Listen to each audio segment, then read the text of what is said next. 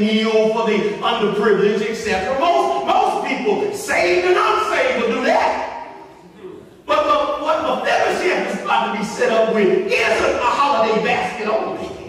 He is being set up for life. Mephibosheth is about to receive a divine pension. This type of dynamic turn around will be like eating scraps from the dumpster to going the way you eat that Ruth's Chris Steakhouse. Eating some good old gumbo from Emeril's in New Orleans in the French Quarters. That's the divine turnaround that Mephibosheth is experiencing. You see, when you don't know your history, it will affect your destiny. But when you know you are a branch, connected to the true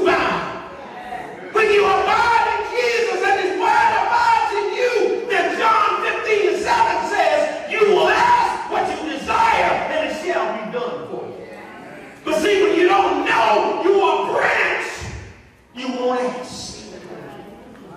When you do good to all, especially to the household of faith, when you do good to the least of these, when you grace give a tithe of your income, when you do good for others, when they can't return the favor to you, God has a way of allowing that good to come back as a blessing to your children and to your children's children.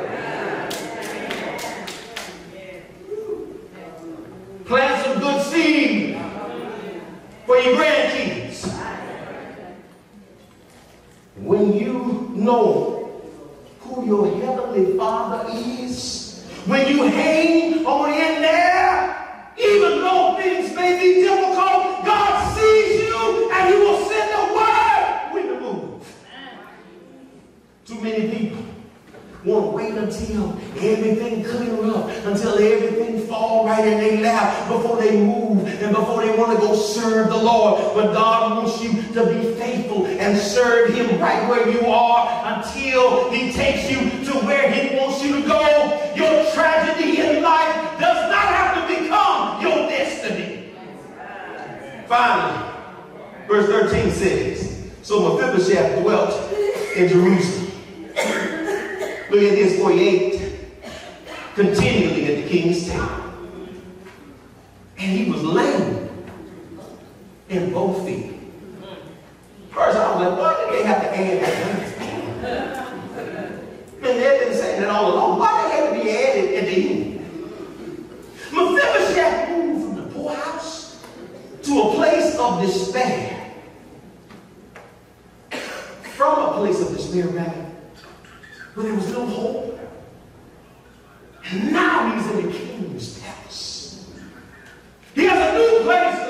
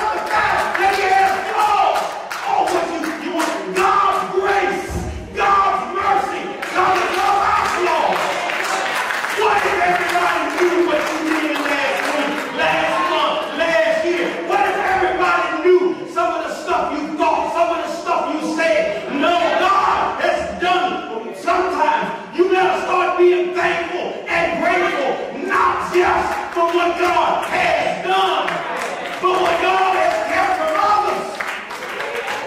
God has covered your sins, covered your mistakes, covered your flaws. Not that he winked at them, but he covered them so that you could be able to be used by him.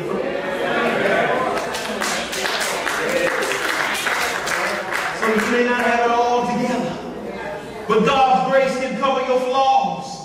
Is there anybody in here who knows something about God's grace?